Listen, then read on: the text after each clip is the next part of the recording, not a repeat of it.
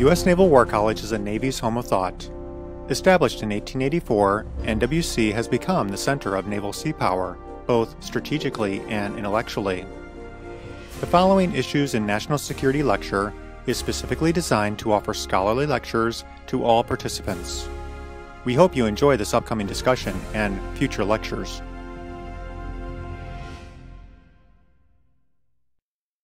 Good afternoon and welcome to our ninth INS lecture for this academic year. Excuse me. I'm John Jackson and I will serve as the uh, coordinator for today. Admiral Chatfield is on leave and can't join us, but I'd like to welcome you on her behalf. We've enjoyed bringing you this series as a way to share a portion of the Naval War College's academic experience with the spouses and significant others of our student body. It has been expanded to include participation by the entire Naval War College extended family, including members of the Naval War College Foundation, international sponsors, civilian employees, colleagues throughout Naval Station Newport, and participants from around the nation. Looking ahead, please join us on 22 February 2022 when Rear Admiral Peg Klein will speak about ethical leadership. Okay, on with the main event.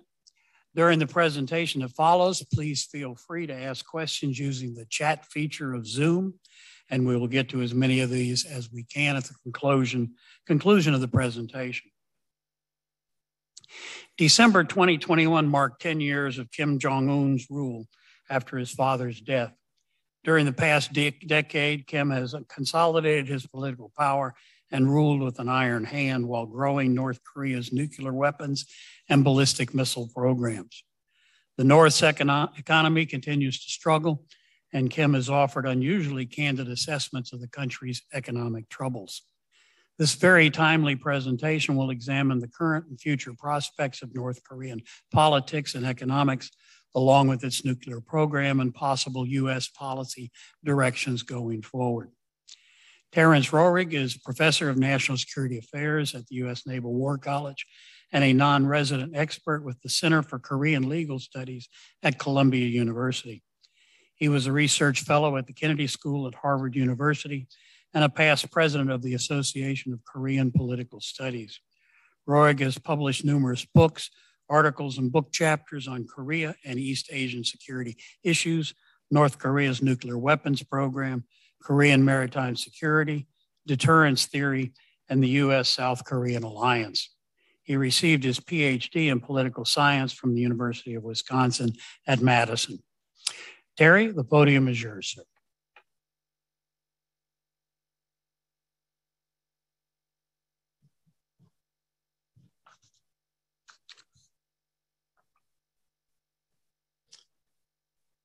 Well, thank you very much. It is a pleasure to be here and to have a chance to talk with you about these very important issues and ones that have become um, much more in focus over the last month, thanks to a whole series of missile tests. Uh, let me also offer the usual caveat that these are my own personal views only. So, the United States has been rightly focused on strategic competition, great power rivalry, watching China and Russia. But this past month, North Korea reminded us all that North Korea remains an issue that we need to be concerned about and we need to be watching. It has also been a decade since Kim Jong un has been in power. And he has continued to grow his political position, but also grow the nuclear and missile capabilities of North Korea.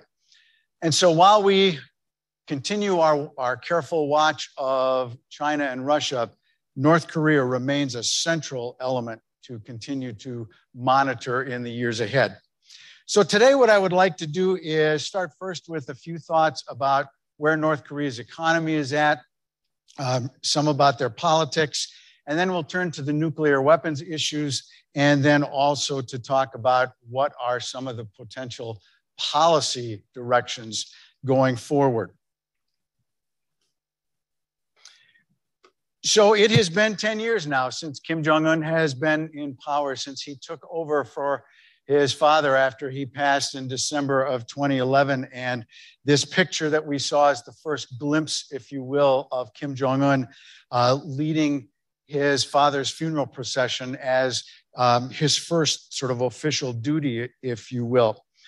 Over these next 10 years, Kim Jong un, who started this journey as a 27, 28 year old kid, a relatively young kid in the North Korean political hierarchy, purged a lot of the high ranking military and party officials on his way to cementing his power, including his uncle, who is right behind him in this uh, procession. So even if you were a family member, it did not mean if you were a threat to his power that that could mean uh, dire consequences for you. Later, he also is going to have his half brother killed in an airport in, in the airport in Kuala Lumpur. He will also uh, take on all of the important positions and duties that will be part of his consolidation of power. He's also going to revive the Communist Party in the political hierarchy in North Korea. And so you will see over the last couple of years some of their important meetings taking place and policy decisions taking place during party meetings, as you see down below. And of course, he is going to make some major strides in these 10 years in North Korea's nuclear capabilities, as well as its ballistic missile capabilities as well. And if you look at the picture at the very top, um, he also succeeded in losing about 40 to 45 pounds, uh, which raised some interesting questions about his potential health situation, but he seems to be um, alive and well. So, over the decade, he has been very clear in cementing his political position, and there are no obvious uh, sources of opposition to his rule. Of course, that's not necessarily good for your health if you decide to go that route. Um, but his rule seems to be very stable and very secure at this particular point in time. So it looks like we are going to have a North Korean under Kim Jong un for the foreseeable future. However, there are a couple of things that are in particular of concern that the regime is worried about and tops on their agenda list. And the first is the North Korean economy. The economy had already been struggling for a number of reasons, but the past two years have been particularly difficult for North Korea as three factors have come together at the same time to really slam the North Korean economy. And the first is the impact of the ratcheting up of economic sanctions after some of the later missile tests. And you see that reflected in this table of the North Korean GDP. 2016, uh, many surprised that there actually was some positive growth. But after 2016, the sanctions are really going to ratchet up in those next two years, in 2016 and 2017. And then you see that the North Korean economy is really going to start to slide. In addition to that, you also have the COVID lockdown. January of 2020, North Korea is going to be one of the first countries to completely lock down its country in response to the COVID outbreak. That's going to have particular economic circumstances because of the shutdown of trade across the Chinese border, both legal trade as well as illegal trade. And that is going to have a, a significant economic impact on China. Now, with the sanctions, there has always been a question about whether these sanctions have been enthusiastically enforced, particularly by China and Russia, but by others as well. The sanctions lockdown, or excuse me, the COVID lockdown has probably done more to enforce the sanctions than any of the actual sanctions um, uh, measures. And so COVID has been probably one of the best sanctions enforcement mechanisms on the North Korean economy, but has had a significant impact.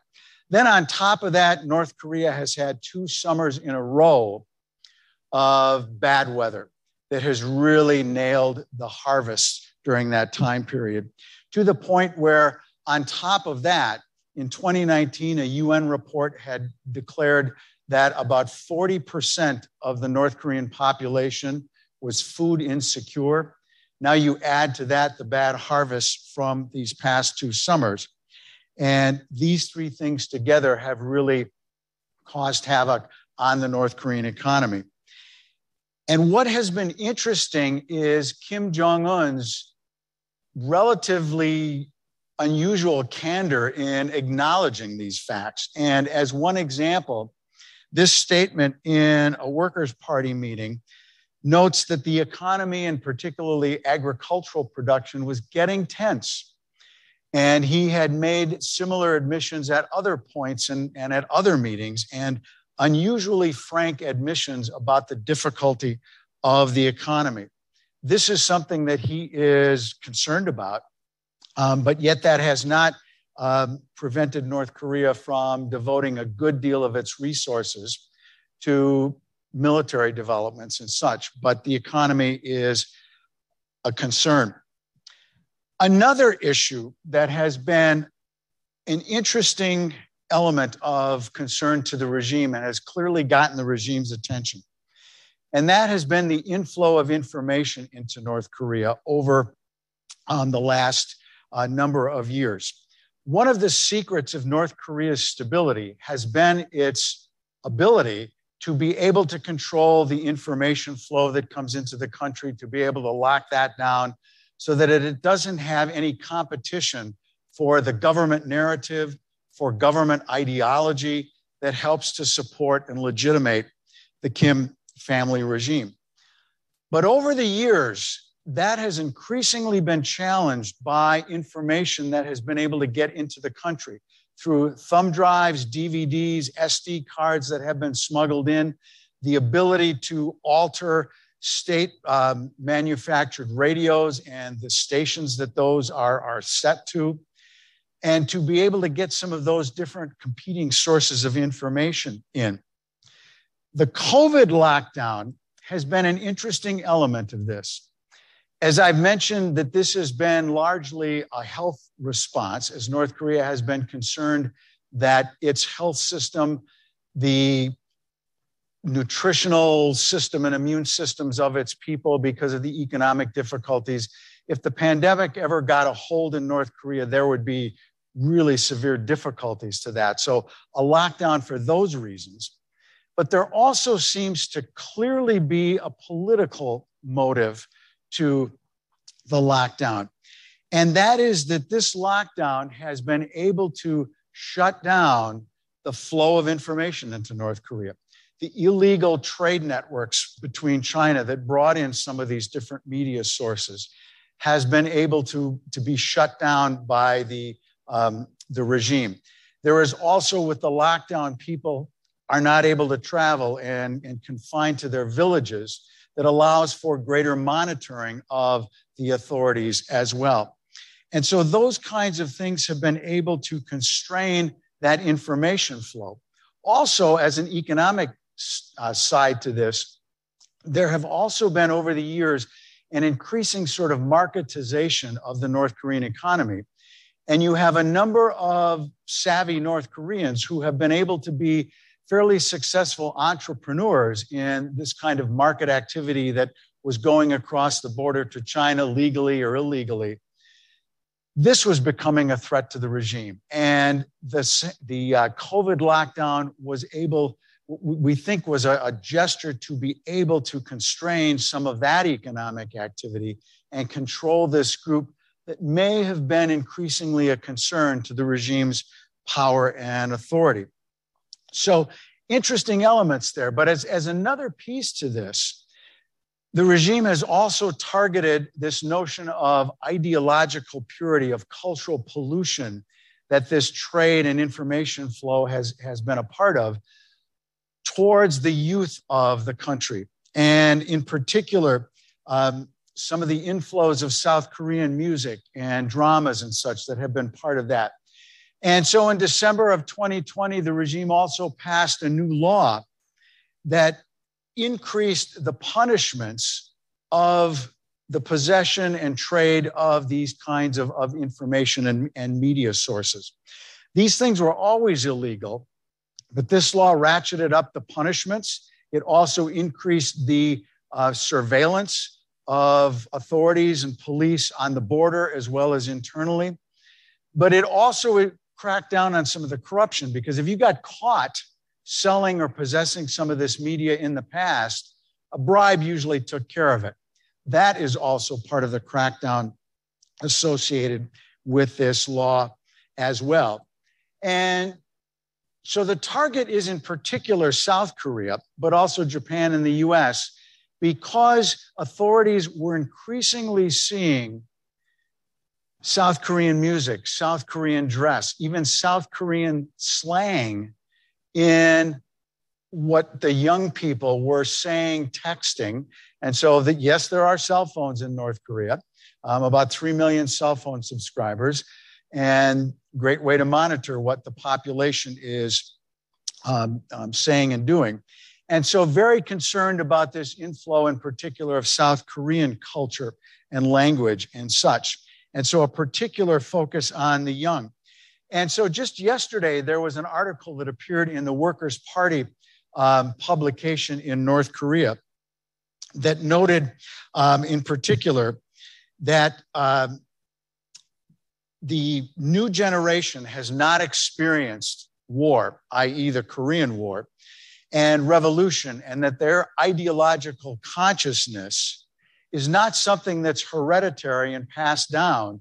We have to make sure that that baton of ideology is passed down to the next generation. When you put all of this together, it is interesting that these actions demonstrate that this has gotten the regime's attention. And they are concerned about this and what the long range impact may be of some of this change and influx of outside information and something that, that bears watching.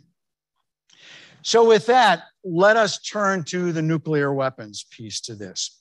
Um, it had been relatively quiet for a, a, year or so, some testing, et cetera. But of course, that changed in January when North Korea tested a whole lot of different missiles and such.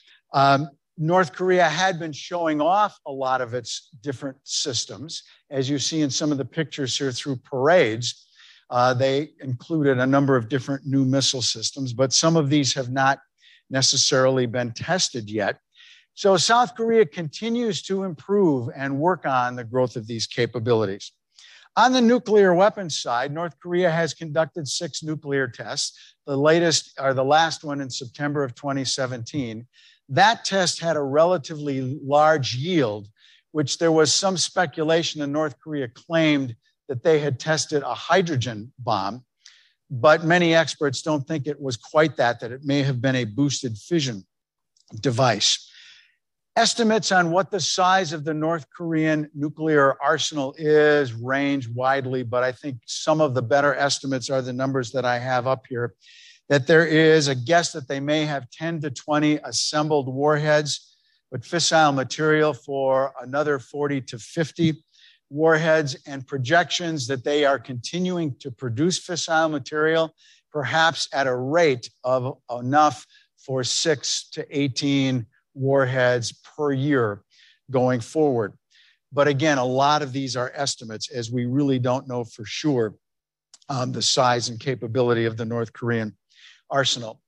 Their delivery system of choice are missile systems, and they have a lot of them and a number of different varieties of short, medium, intermediate range ballistic missiles, ICBMs, cruise missiles, and they are also working on a submarine launched ballistic missile as well. Most of these missiles, the land based missiles, are um, mobile missiles, as you see um, in some of the pictures here below. They are largely liquid fuel missiles, but the North Koreans are working to transition those to solid fuel missiles because there's an important technological advantage to having solid fuel missiles. But this is another interesting demonstration or, or, or, indication of what North Korea's future ambitions may be of some of these systems. In uh, the uh, Eighth Party Congress about a year ago, Kim Jong un laid out in one of his statements a pretty extensive wish list of what he is directing the scientific community to continue working on. And that list included tactical rockets, intermediate range cruise missiles, different types of warheads, which raised an interesting question about whether he was going to develop a lot of different size warheads, in particular, smaller tactical nuclear weapons. And did that point to a direction that North Korea's nuclear strategy and doctrine may be much more of a warfighting doctrine as well as um, assured retaliation? Um, Kim also talked about hypersonic glide vehicles, guidance technology, excuse me, guidance technology for multiple warhead rockets. So does that mean North Korea is also going to move towards multiple independently launched reentry uh, warheads so that those um, missiles that you see there, the large nose cones, may actually have multiple warheads on them as opposed to just a single warhead on them. And lastly, talked about a nuclear powered submarine. Um, picture in the lower right there is one of the, the pictures that North Korea has released for some of their submarine development. They're working on a submarine launched ballistic missile. We know less about any um, nuclear powered submarine. But this was an interesting and an ambitious wish list for North Korean capabilities, perhaps largely aspirational, but on the other hand, North Korea has been able to achieve a lot of progress in areas that we didn't think they were going to get to quite as quickly as they have. So, again, these things deserve to be watched closely. Well, and then, of course, we have January. Kim Jong un a while back had talked about giving, or one of his officials had talked about, well, the United States, depending on its policy, would would determine what sort of Christmas present it might get. Uh, well, this is about two years late, but uh, perhaps this is what was in mind um, a while back. I won't go through all of this, but you can see an array of different missile systems that were tested from the hypersonic glide vehicles to short range ballistic missiles.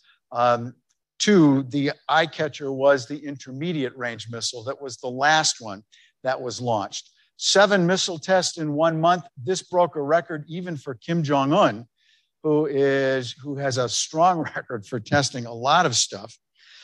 But he got it all in before the Olympic Games because there was a great deal of speculation that he would not want to launch anything that upstaged the um, Olympics in Beijing and, and got Chinese anger. Um, but we shall see. What is interesting to note in the middle of all of this, Kim Jong un had another party meeting where he dropped this line. And that was that he gave orders to his, his officials to reconsider restarting all temporarily suspended activities.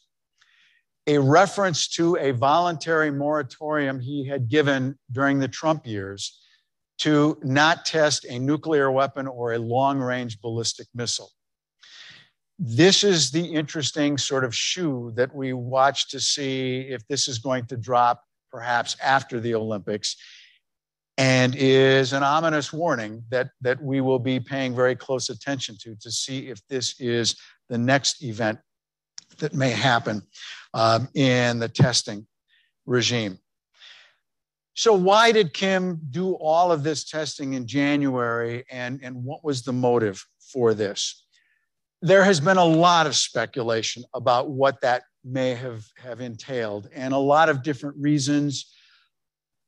These are some of them that are up here, and I'll talk about them in just a minute. They aren't necessarily mutually exclusive.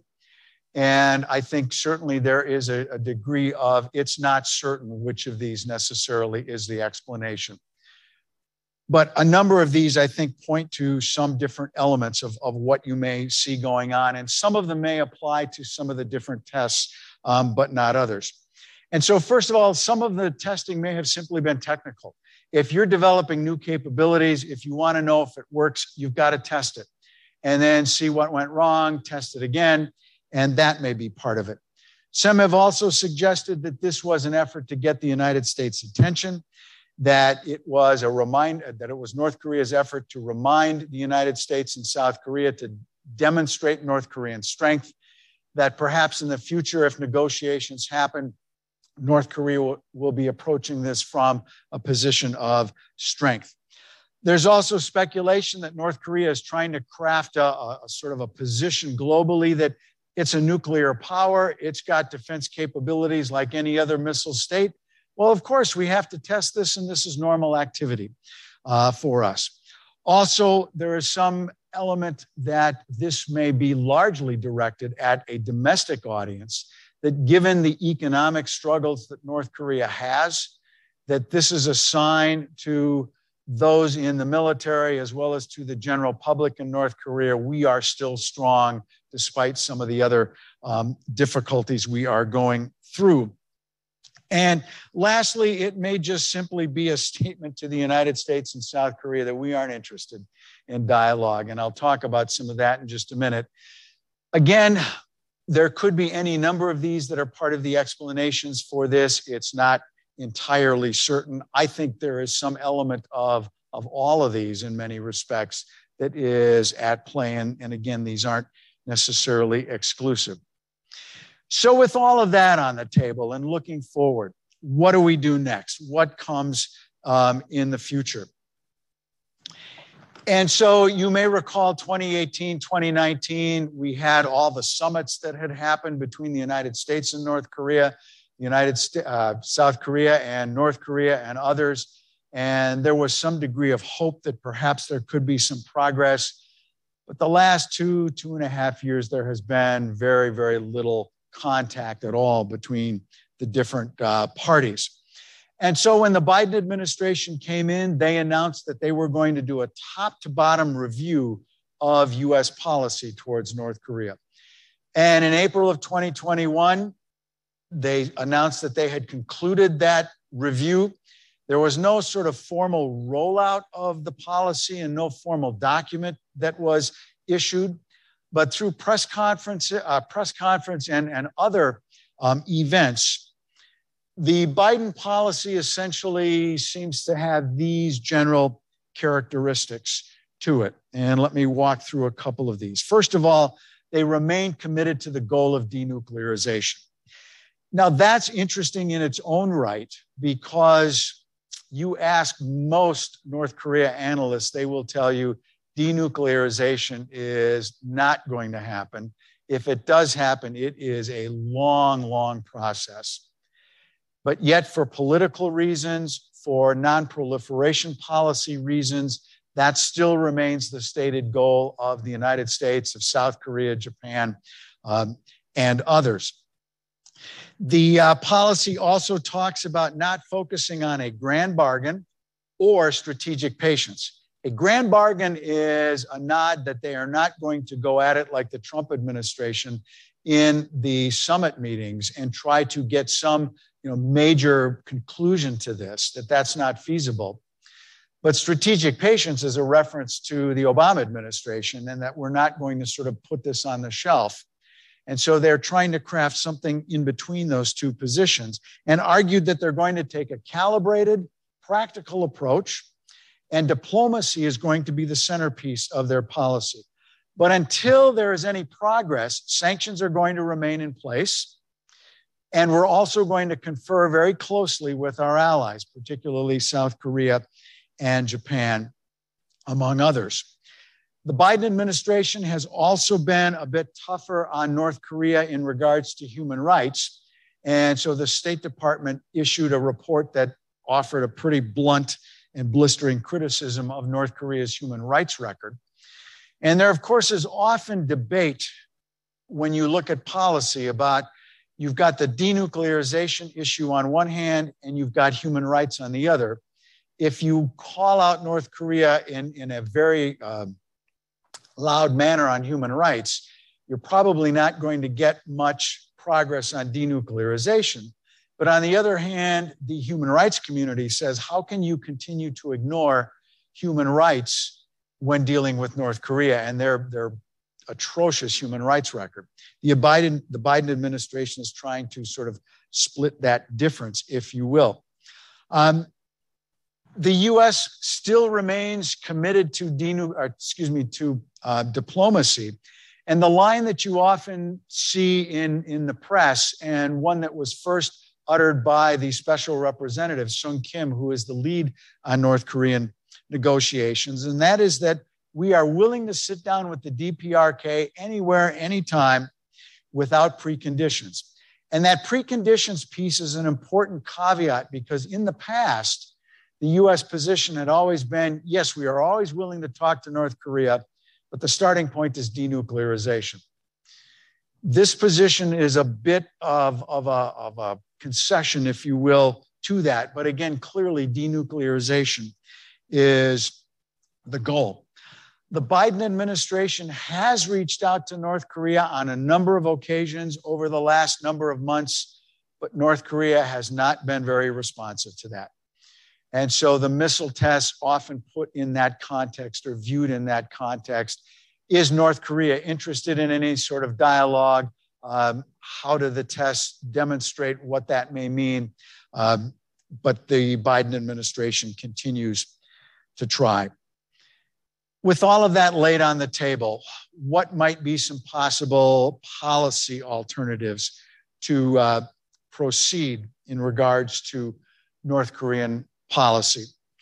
And first of all, let me say the denuclearization goal, I think, is the central one. Are you going to continue to hold any future policy to denuclearization? And if not, what is your goal then? And there are some important ramifications on that particular decision. Also, some of the proposals that are out there will, will almost all have a starting point that the alliance has to be maintained and is an important element of security on the peninsula and making sure that there is a robust deterrence posture. There is generally agreement on that across the spectrum. With that said, I would categorize some of the future, uh, some of the proposals for US policy along sort of three general lines. The first is that this is not the time to relax pressure. It is time to ratchet up pressure on North Korea, particularly given what we think we know about their economic situation. Increase sanctions. Don't draw them down as sort of an opening um, gesture to, to North Korea. Um, there's an argument that with all these missile tests, North Korea has not paid much of a price for that. We've got to change that and begin to add some greater level of accountability to North Korea when they conduct these tests. But the question, of course, is what that is and what that looks like. Um, we have had a, a, a, scaling back of joint exercises in South Korea over the years, in part as a political gesture for dialogue, but also because of COVID issues. But this side of the argument would argue, you know, we have seen enough of this. It's time to go back to a regular exercise regime starting with this spring and continue to press North Korea on the human rights issue. On the other side of the coin are those who would argue we've been doing this for the last 20, 30 years and it hasn't gotten us anywhere we need to try something different, something more proactive. And these folks would argue something that I would call as a, a proactive engagement plan or, or policy. We've got to offer something up front to North Korea to demonstrate some sort of degree of good faith to the North Koreans that we and the South Koreans are willing to adjust what the North always calls our hostile policy offer perhaps some opening sanctions relief proposal, something that can have a snapback provision, perhaps if North Korea doesn't um, reciprocate. You may, if you follow Korean security issues, the last number of months, there has been a proposal on the table that has been pushed fairly hard by South Korea about having an end of war declaration. Something that wouldn't replace the armistice, but it would be a declaration by the United States, by South Korea, to indicate that the war is over, um, that we can move forward from that, and that it would be a starting point to be able to move towards improving relations. economic engagement, and again, perhaps some sort of sanctions relief. Um, this is going to be a tough sell with the missile tests that we have had. But again, this is the other side of that argument to say, what's pressure gotten us and the current policy gotten us so far? We need to try something different. Somewhere in the middle, and, and where I tend to come down, is something that would look at this situation in sort of a different manner and, and acknowledge that denuclearization is highly unlikely ever, or at least certainly in the long term. And instead, this is going to be something that we have to look at as a problem that we manage rather than solve. And perhaps the starting point, even though we may still talk about denuclearization, the starting point is to consider this much more of an arms control problem or a, a threat reduction problem. And so, therefore, see if we can't negotiate some sort of codification of the testing moratorium that North Korea had voluntarily put in place. And we might have to offer some sort of sanctions relief for that, but we treat this more as an arms control issue. Um, if we can get some sort of limitation on North Korean capabilities and numbers, conventional systems also could very easily be on the table as part of this. Now, certainly this is no easy answer either, and I have verification listed under that as another big challenge to this. But when you look at all of these different options and the North Korean problem in general, there are no easy answer, answers to this. There probably has never been any easy answers to this. But this is a third option that may be another way of approaching the North Korean challenge as opposed to these two um, on the other side of that. In the months ahead, there are going to be, as I move towards wrapping up here and, and moving to questions, I would like to, to throw out four events, if you will, to keep an eye on over the next number of months. First of all, South Korea is in the last stages of its campaign for its presidential election, which will be held on March 9th. The two candidates, Lee Jae-myung from the Democratic Party is on the liberal side, the progressive side of the party. He is likely, and he is the successor, if you will, of the uh, uh, current Moon Jae-in administration. He's likely to continue the pro-engagement position of the current South Korean government. But on the other side, Yoon Suk-yeol is the conservative People Power Party candidate. If he wins the election, then there's likely to see a change in South Korean policy towards the North. So far, he has a slight edge, but it's close enough that this is going to be really interesting as an election to watch. Then, after the Olympics are done, is Kim Jong un going to follow through on his implication that he is reconsidering his testing moratorium on nuclear weapons and long range ballistic missiles. If he crosses those lines, the United States and others will likely have a very different response than has been the case up to this point. The spring exercises are not far off, typically in March um, and April. Those are likely to go back to normal, if you will. And North Korea has typically responded negatively towards those exercises. We'll see what that response might be. And lastly, a good anniversary is another time to test something. And in uh, April, we have the 110th birthday celebration of Kim Il sung, who is the first leader, the grandfather of Kim Jong un, absolutely revered in the North Korean political hierarchy as the founder of the country. That would be a good time, perhaps, to test something and try to uh, um, have something to commemorate his um, birthday, if you will. So stay tuned and watch for those events. And so let me just wrap up before I turn it over to, to questions here that the North Korean challenge has not gotten any easier. And as the months go along, as the years go along, North Korea continues to increase its capabilities. And we need to watch that. We need to be concerned denuclearization is highly unlikely going forward. But I think there are reasons why that's likely to and probably should at least publicly remain the goal.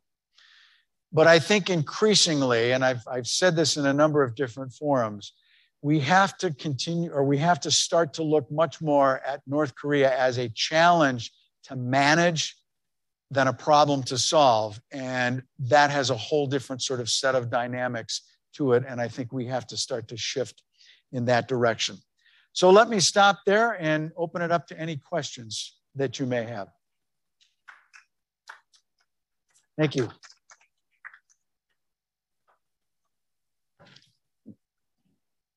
Thank you very much, Terry. Uh, I'd like to acknowledge that we have uh, 200 people uh, participating via Zoom here today. So I think that's a, a, uh, comment on the seriousness of the issue and the scholarship of our presenters. So uh, very glad to, uh, to see that happen.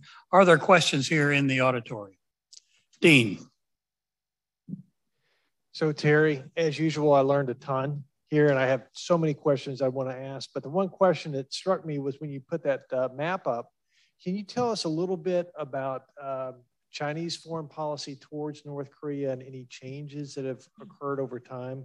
Give us a good overview of South Korean policy towards North Korea and potential changes, U.S. changes in foreign policy. How has China's rise and has that changed or has it been relatively stable Yeah, and I think that's a really interesting story because we often portray in in the media that they're close allies. And there certainly is a relationship between the two, and they have some common interests. But there's also some degree of, of lack of trust um, between the two sides. For example, I think North Korea is, is very nervous about the economic dependency they have on China. Um, although they really have no choice at, at, this particular point, even with the lockdown, um, there are signs that economic exchanges starting to open up. There were reports last week of, of a train or two that may have crossed the border.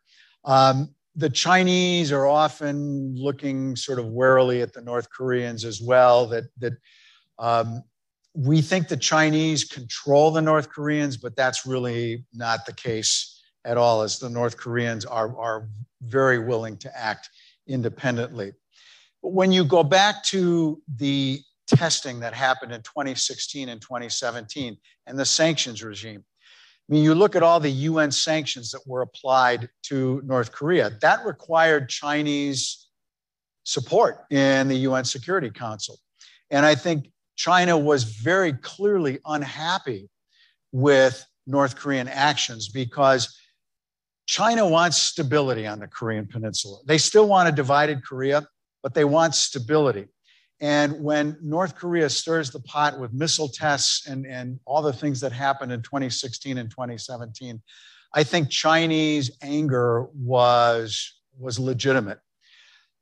But going forward, China has always sort of been a defender, if you will, of North Korea in a number of different ways, politically and such. And so, most recently, you have seen China um, at, try to get sanctions relief in the UN Security Council. The United States has gone to the Security Council in the wake of these January tests to try to get a, a statement of condemnation from the Security Council, an increase in sanctions, um, in addition to unilateral sanctions the US applied. And China and Russia have, have said no. So I think China will continue to defend um, North Korea in some of those different ways.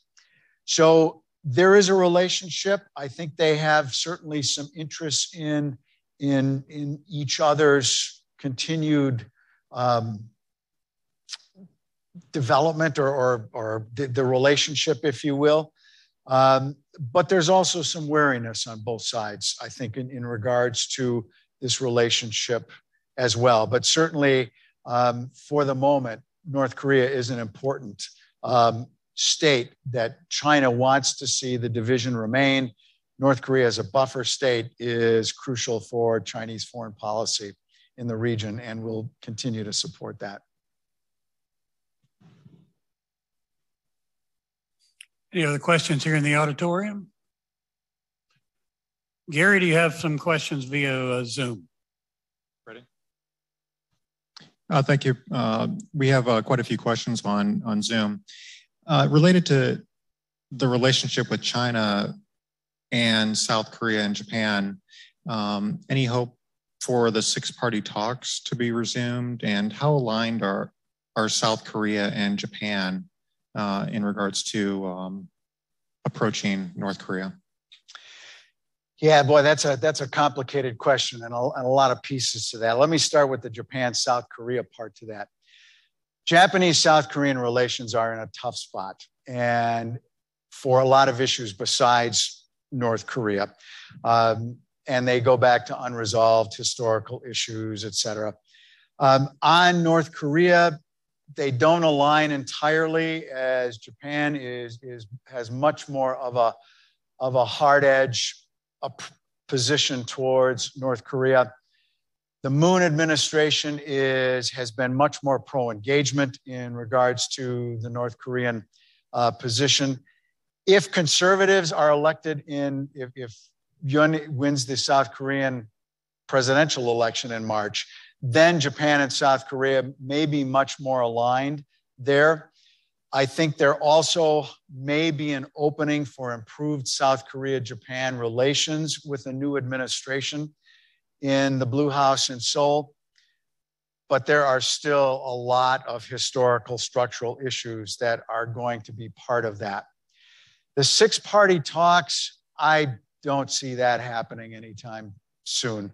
Um, I think it is much more likely that it is going to be uh, bilateral at the start, perhaps trilateral with the US, South Korea, and North Korea, um, or, or perhaps China. I think you know, there could be much more of a quad sort of, of arrangement there. But none of that has been sort of on the table for any recent period of time. So, um, you know, in many respects, it's the United States and North Korea is, is an important starting point here, as well as inter Korean relations. And we just haven't seen much progress on that front going forward. But again, you know, 2018, when Kim offered an olive branch in his New Year's address in January of 2018, that came as a surprise. Uh, perhaps there is something like that possible as well, but it's not, not very optimistic at this particular stage.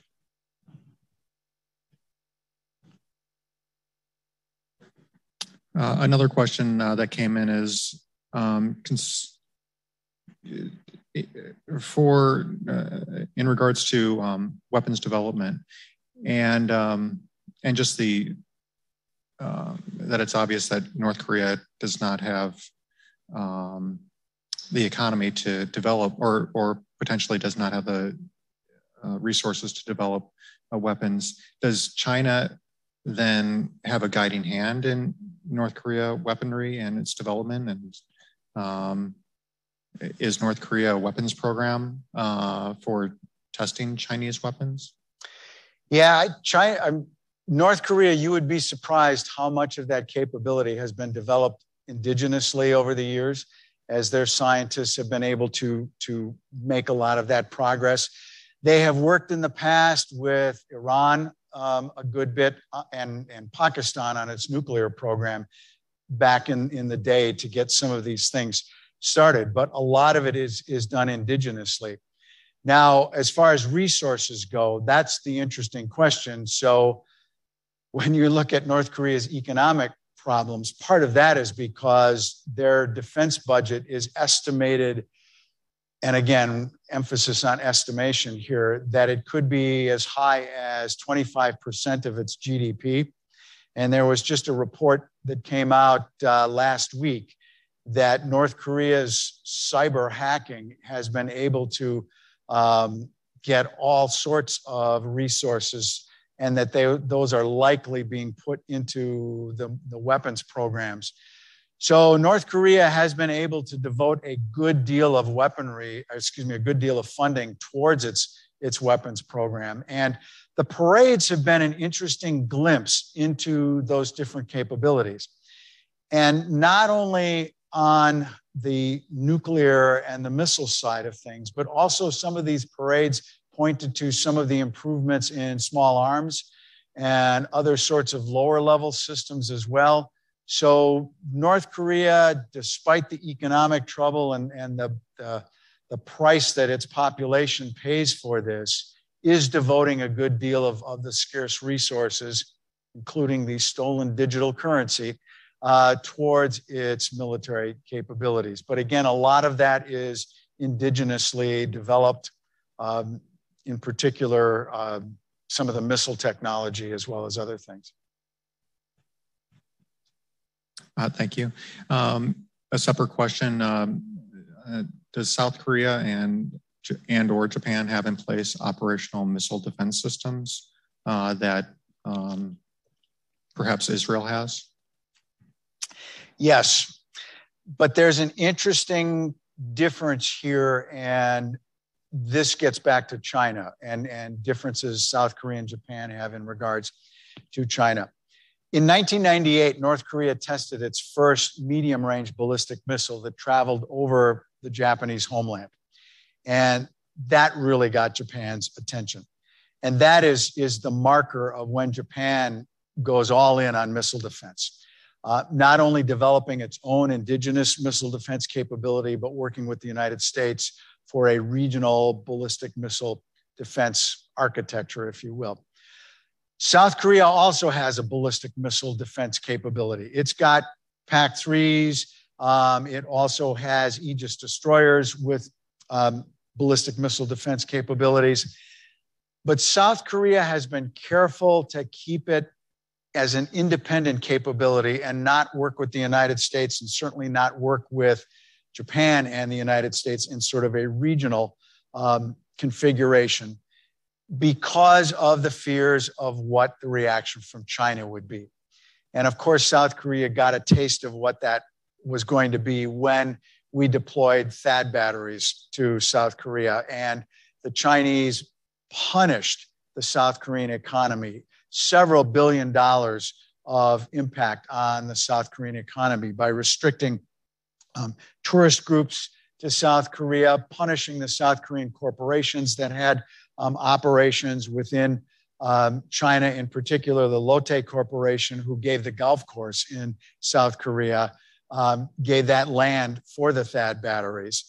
And so South Korea has been very concerned about angering China in regards to ballistic missile defense. Now, with that said, there are some interesting elements here as perhaps some changing dynamics within South Korea. There's interesting public opinion data in South Korea that is pointing to a slow deterioration and a majority of such of negative views on China, even more so that there is a more negative view of China than Japan. And given, given where South Korea and Japan relations are these days, that's saying a lot.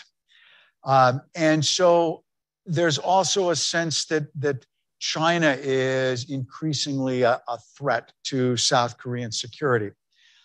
But still, South Korea depends heavily on Chinese trade and investment. And so South Korea has been sort of walking this policy position that's often referred to as strategic ambiguity between the United States as its top security partner excuse me, on one hand, and China as its economic partner on the other. But there's increasing sentiment that perhaps South Korea needs to shift more in the direction of, of away from, from China. I think perhaps the best way I have I've heard this described by, by some South Korean analysts is the United States will always be South Korea's number one security partner and close ally but we still have to figure out a way to manage our relationship with China because they are still there in the neighborhood and are still central for South Korean economic prosperity. So that creates a very interesting dynamic that, that I think is part of the bigger picture that points to why missile defense, South Korea is a little more careful about keeping a separate sort of missile defense capability from Japan, and the United States. Uh, Gary, let me pass the uh, final question. Uh, what is the range of the Korean weapons? Do they represent a threat to the continental United States? And this recent situation where airlines were grounded on the West Coast seemed to be in coordination with these Korean tests. Any comments about that? Yeah, that's that's one of the interesting debates about North Korea's capability. They have certainly demonstrated the capability for short, medium range missiles, for certain um, intermediate range systems as well. The question is the ICBMs and the long range missiles. From some of the tests that they did in 2017, the missile community, I think, would, would suggest that there's a fairly um, strong consensus that those missiles can probably reach the United States. Probably, or at least a fairly decent percentage. There still is some question, in, in my view, about the ability to put a nuclear warhead on top of those. That do they have the guidance systems to be able to um, get these to the right location? Do they have the reentry vehicles that are going to be much more challenging for that type of a long range ballistic missile to be able to actually get to the target, detonate when they are supposed to? Um, those kinds of issues are, are still, I think, some question marks. But the bottom line North Korea continues to work on this capability and improve that, even without some of the long range tests. And, and the question is is there enough capability to be able to possibly have a deterrent impact on the United States and its actions? And you may not need 190% confidence in a system to get that. 10, 15% may be enough for North Korea to get some degree of deterrent benefit from those systems. But the big question then is if North Korea wants more confidence in those systems, is it going to have to test them? And then what's that going to mean for the security environment? And again, those are, are the, the, the difficult, ominous questions as we go forward. Thank you very much. Uh, terrific presentation. Uh, we thank you all for joining us.